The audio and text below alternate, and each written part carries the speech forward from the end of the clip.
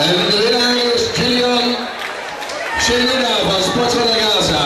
De volgende partij, hier in lichtgewicht. Emmerich Porens tegen Kevin Kater.